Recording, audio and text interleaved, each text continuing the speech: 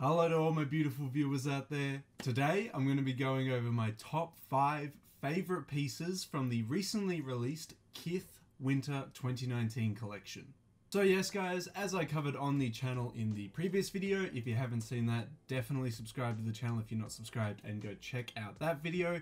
That video I covered the lookbook for the Kith Winter 2019 collection. And if you don't know what a lookbook is, it's essentially a series of photos of models wearing most of the collection. Very rarely does a lookbook showcase the whole collection. Uh, if that was the case, you would see lookbooks with like 80 photos instead of like around 40.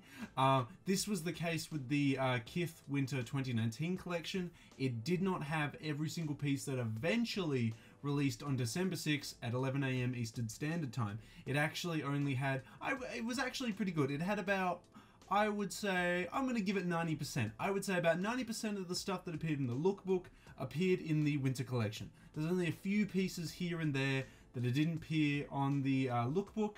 Um, and you know what? They also will get mentioned in this top 5 episode as some of them have earned what I would say is an honorable mention. So what we'll do is we'll go over what I'll say are some honorable mentions, things that didn't make the top five, but I still think are very good.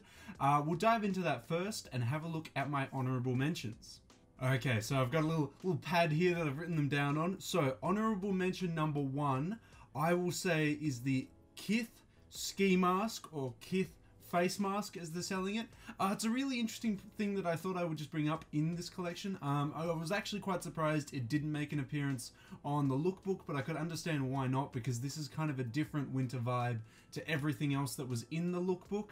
Um, honestly, there was an interesting conversation had on ASAP Bari's Instagram where um, major brands these days, brands like Kith, brand, a lot of high-end fashion design brands, are now incorporating face masks and ski masks into their collection, but really the really streetwear centered cities of America, places like Harlem, um, I don't really want to name them all, but like New York and stuff like that, really fashion heavy cities have actually been rocking face masks for like the past five years. And now brands are catching on that they can capitalize on this and are releasing like branded face masks all the time. Now I know some people feel this is a like a bit of a stab in the back that like now all these brands are capitalizing off of it when really uh, it was the streets that came up with these ideas of wearing face masks as a part of like winter outfits and stuff. You, everyone has their own different points of view on it. I personally don't mind brands capitalizing it off too much. You don't have to buy a branded face mask. If you want to buy a branded face mask, that's totally fine. But I thought it deserves a little spot in the honorable mentions. It didn't appear in the lookbook, but I thought I think it's just a cool piece. Um, I would like to wear face masks, although I don't know how that well that would go because a lot of people would look me as like I'm about to rob a place and not like they wouldn't see it as a fashionable accessory for a full out outfit. They'd be like, bro, which bank are you robbing this time? And like, you know, I, I get it. I get the whole stigma behind wearing a face mask. But obviously, well, obviously in my case, I just want to wear it as part of an accessory for an outfit. So I just thought I'd get an honorable mention. I was kind of surprised that Kith even released it. Um, I went through the whole collection and I was like, oh crap, okay, so we're actually getting one. That was a weird little thing. Uh, the second honorable mention is the Kith ear flap cap. Uh, it appeared in the first couple photos of the previous video uh, from the lookbook. He, uh, the uh, model had the full floral outfit and he had the cap. And I was really into the cap until I saw that it had earmuffs. I understand why it has earmuffs. It's the winter collection. It only makes sense that would have earmuffs. But I don't know, if that was just like your standard five or six panel cap with that floral design on it, you would have had me. You would have had me, Kith. I would have bought that. But unfortunately, the earmuffs are kind of a turn off for me. Um, that was just my reasoning behind it. Another honorable mention that hasn't made it into the top five favorite items from this collection is the Kith initial K uh, K Mock crew neck. Yeah, um, K Mock crew, uh, crew neck. No, K Mock neck crew neck. what a name! What a name! Anyway, yeah. So it's been dubbed the Kith Initial K Mock Neck Crew Neck.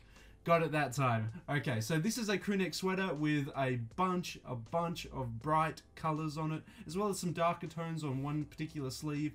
Um, I thought this was quite a nice piece when I looked at it in the lookbook, um, but when I really thought about it, when I was thinking about my top five favorite items, this is a very nice crewneck sweater.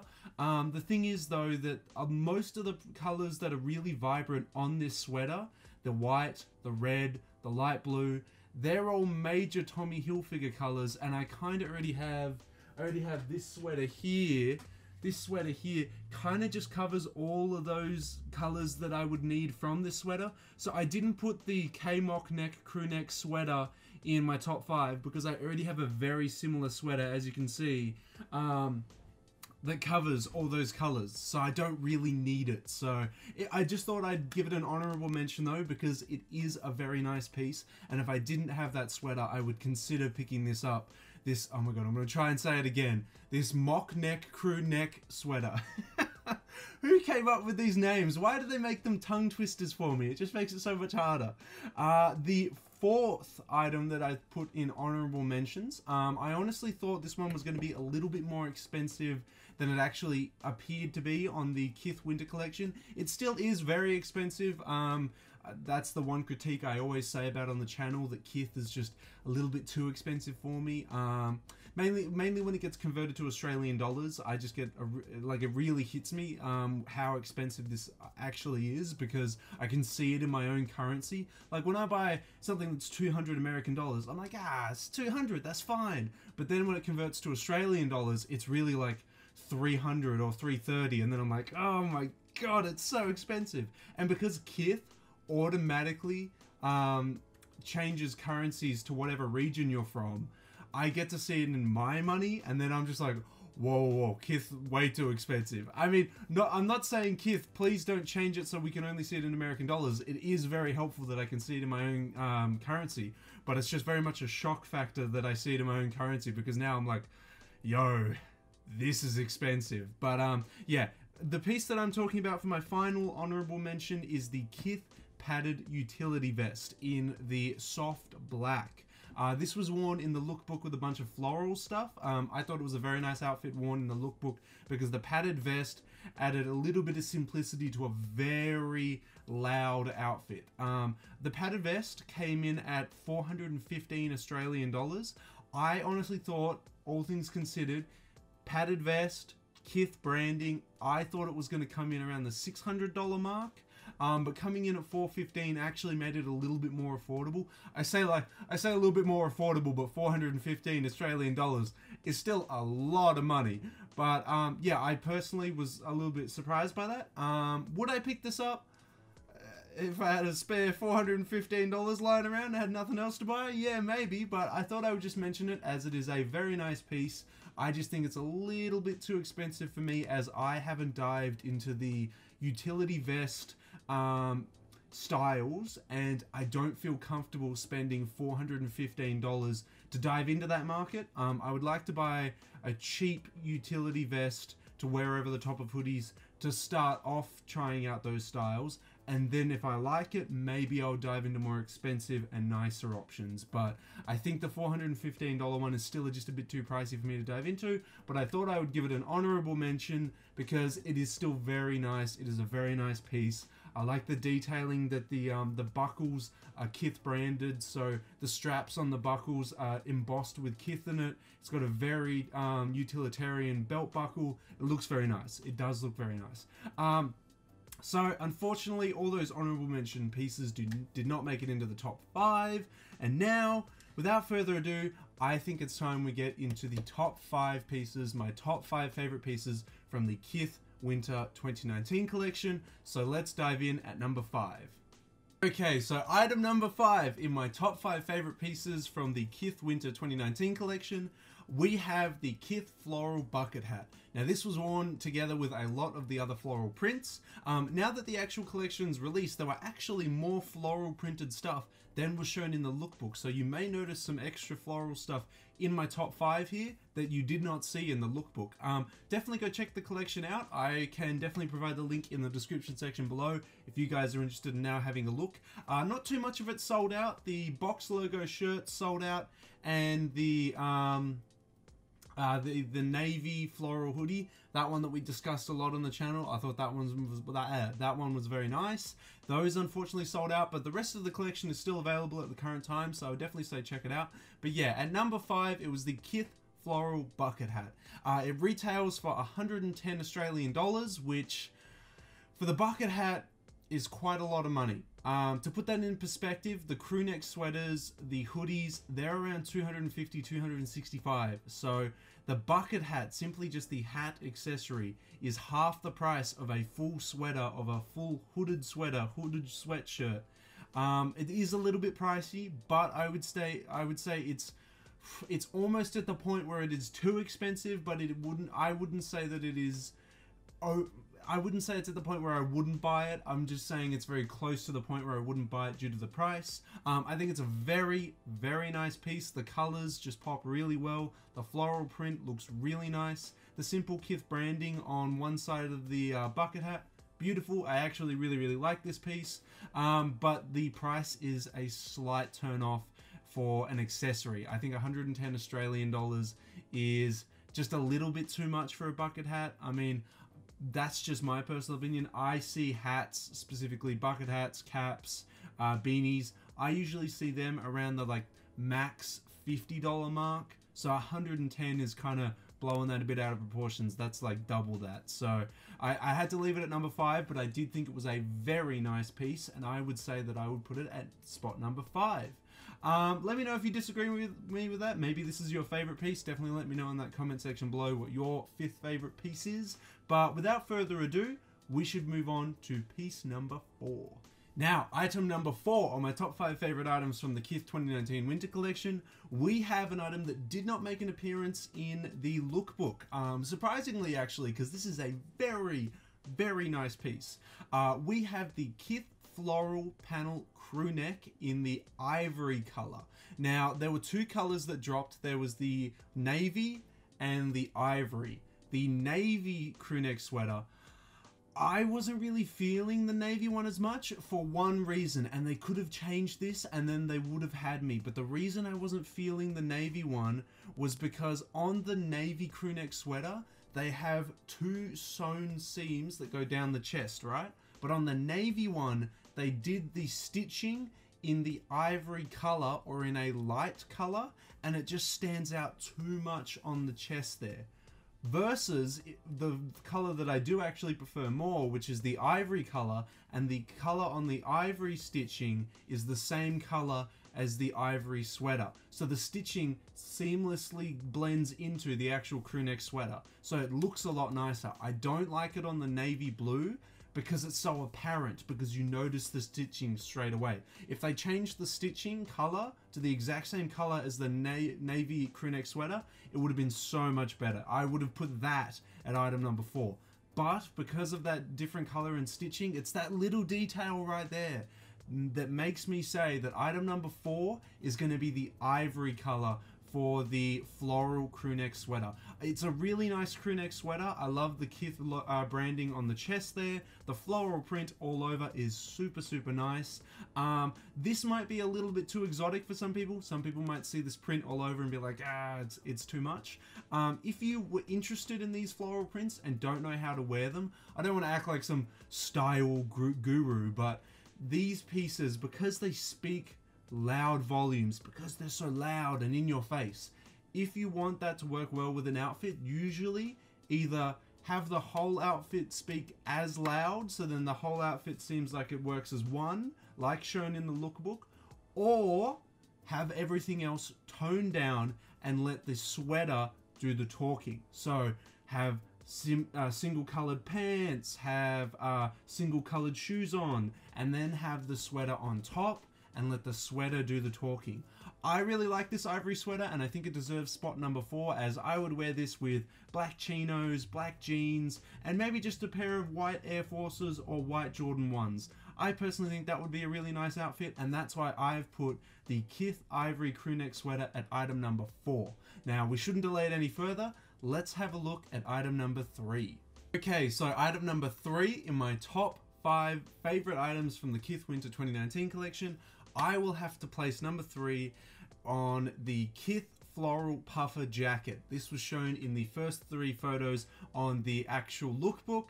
Uh, I thought this piece was very nice. The attention to detail was very well done on Kith's behalf. Um, also looking into the description, it looks like they've got the fill, the down for the actual jacket to, you know, keep its warmth and everything like that from a sustainable source. Um, obviously, there uh, the animals would still be injured in the process of, of obtaining the fill, but it looks like it's more sustainable and less, I would say, less like an internment camp and in prison. And I'm sure that this sustainable source is a lot more animal friendly than versus to cheaper prison like sources for the fill. So I've got to give them some props for being slightly more sustainable than other places. Uh, the jacket is very well designed. I like the tactical. Um, adjustments on the sides that you can make. It has two tactical uh, belt uh, but, um, buckles and you can tighten them, making it tighter around the waist. Um, this is a preference for me. I don't usually like puffer jackets at all. I just quickly looking at my collection of clothing, which is just over there, by the way. Um, I don't actually have any puffer jackets. I don't have anything that looks extremely bulky on me. Um, I think because I'm already quite a big, bulky guy, I don't think I need clothing that makes me even bigger. Um, I kind of like clothing that is a little bit slimmer, uh, especially with jackets and, you know, um, overcoats and extra layers that I would put over the top of a hoodie, which is exactly what I would do with this puffer jacket situation. Now, that's not to demerit the puffer jacket in any way. It's just that me personally, I'm not a huge puffer jacket guy. It just, I don't think it looks nice on me but I still think that the floral print actually really complements the actual overall uh, shape and look of the actual puffer jacket here. Uh, personally, I, now that I get to see better uh, photo shots of the actual jacket, there are some little nitpicking designs that I sort of don't like, but don't fuss me too much. Um, just like the ivory crewneck sweater and the navy crewneck sweater, the floral ones for number four, um, it has lines going down it halfway through the, um, the jacket and kind of splits it up. Um, not hugely impacted by that, but it would have been just nicer to have them removed and then just have it as like the black canvas with the floral print on it. I don't think it, these lines are really necessary, but that's just how I feel. Um, again, doesn't take away from the jacket. That's just what my little adjustment would have been. Or if they were going to do those stitching lines down the chest, maybe do them in the same color as the overall base cam uh, canvas color of the puffer jacket. So do them in black lines instead of the white, just so they're not as noticeable. That's my like very few nitpicking details. I still think this is a very lovely piece. Uh, I've put it at number three. It would have been higher up on my list. The only issue is, is that this puffer jacket comes in at a whopping 820 Australian dollars. It is not cheap. And just to compare, the puffer jackets um, in the collection that are different colors that do not have the floral print are 745 Australian dollars. So if this puffer jacket was just that little bit cheaper, that 745 price, I might have considered bumping it up to the uh, second, maybe even the first place. But because of its hefty price, it has brought it down a little bit in my top five favorite pieces uh, mainly because it's not as affordable. And I think affordability should always be considered when it comes to reviewing pieces and looking at pieces. Um, unless, of course, we're talking about luxury brands and things like that, but I would consider Kith a lifestyle brand, so not necessarily a brand that should have really hefty prices. But that's just my personal opinion. You may disagree and say Kith is a bit more bougie, a bit more luxurious, but I see it as more of a luxury brand, so I don't think it should have such steep prices. Uh, either way, this puffer jacket, wonderful, wonderful piece, and unfortunately, I'm gonna have to leave it at number three, but I still think that's a very fair assessment of the puffer jacket. Maybe if I became a big bowler or something, maybe I'll be able to afford it one day and it won't be seen as such a luxury item to me, but I, I, I don't want to count my chickens before they roost, you know. I, I don't think that's going to happen anytime soon either. So, yeah, I'm definitely going to leave this piece at number three, and we should definitely move on to item number two. Now, this piece I was not actually 100% too keen on when I saw it in the lookbook. I think it was because of the way it was portrayed in the actual photos. Um, I looked at it more personally, and now that I'm able to look at it as just a standalone piece, I actually think that I could wear this with more outfits styled more in my aesthetic. Um, I could wear this piece with a lot of turn down outfits, you know, wear like a black jacket over the top of it, um, wear an overcoat over the top of it, and let the hoodie do the speaking. I've given it slightly away by saying what it is there, but for item number two, it is the Kith Floral Williams 3 hoodie in the ivory color. So uh, we had a look at the various colors in the lookbook and for item number two, I'm to put the ivory color as my second favorite piece from this collection. Uh, I didn't think that I would like it as much. Um, there was the option instead of going for the ivory color of going for a light heather gray. Uh, I just personally didn't think that the floral print over the top of it pops as much on top of the grey colorway versus the ivory color. I think it looks nicer on the ivory. So I think I could wear this ivory hoodie um, very much as I said with a lot more turned down outfits. Um, single colored pants, chinos, jeans, whatever with single colored um, overcoats, leather jackets, denim jackets and then having this hoodie underneath the denim jacket so the hoodie can do the speaking. So when I wear it in this outfit, I can have the floral hoodie bringing all the attention to my upper body, but then having the jackets over the top of it just to tone it down a bit so we don't go a little bit too crazy here. That's how I personally would wear it. Um, I wouldn't wear this hoodie by itself as it is, as you can see, quite a loud piece. Um, if I am to wear loud hoodies, I would wear a basic over jacket just so it turns it down, turns the whole outfit down just a little bit that's how I feel about it. Uh, this hoodie comes in at a relatively expensive price for a hoodie at $285. Um, the quality of the hoodie is 500 GSM. I think it was GSM was the rating that they gave it. Uh, let me just check quickly. Yes, 500 GSM fleece cotton fabric. Now, to put that into comparison, it is it has an asking price of 285 Australian dollars. The Dershowitz hoodies that I've been so keen on recently and have been covering on the channel, they come in at 500 GSM cotton as well. Not necessarily fleece, but cotton. So they come in at a retail price at around, with the shipping, 120 Australian dollars, about half the price of this Kith hoodie. So it is a little bit expensive for this Kith item, but I do have to say, it is a very nice item that I would consider picking up in the future. Um, if it doesn't sell out in a couple weeks time, maybe I'll treat myself to it uh, as a Christmas present.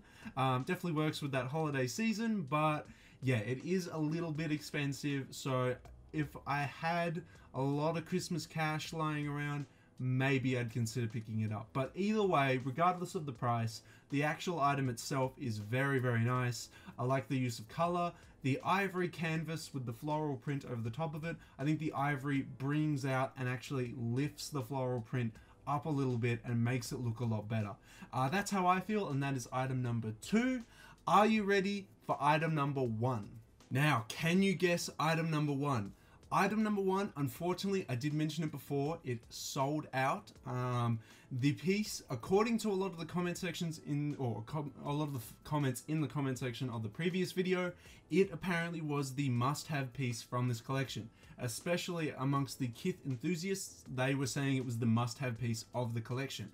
Personally, I do really like this piece, and I'm so sad that it sold out because this would have been the piece that I would have bought first if I had the spare cash lying around to pick up any of the pieces from this collection.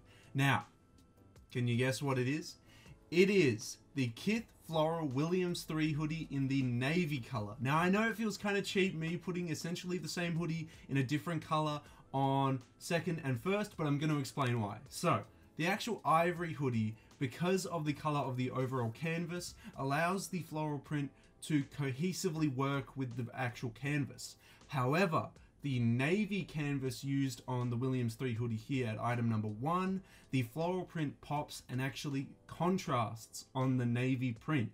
I personally like this more as it brings more attention to the hoodie because you really notice the floral print sticking out of the actual hoodie versus the ivory hoodie where it contrasts and you don't actually notice it as much. Now you may feel differently about that, but that's personally how I feel. Now because of the darker use of a navy canvas, I personally think that the navy hoodie would actually work better for my aesthetic as I wear a lot darker clothing, as you can plainly see. So I think that the navy hoodie would personally work for my aesthetic very well. I do like the actual floral print, so I think it is a very nice hoodie indeed. And it kind of just ticks off all the boxes that I'd be asking from a piece from the Kith Winter 2019 collection. Now, as I mentioned, unfortunately it sold out, but I'm going to assume that it went for the exact same price as all the other Kith hoodies as well, which was a Australian retail price of $285, which as I expressed with the Ivory hoodie, is actually quite a bit of money.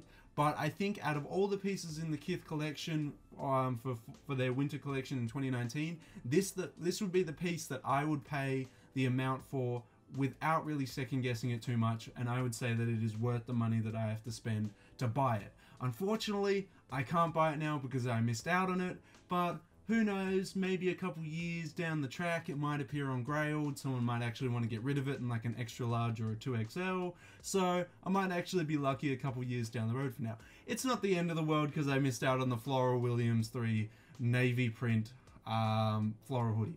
It's okay, it's not the end of the world. But I thought it deserves item number one as it just looks the nicest. It could work the best with my aesthetic.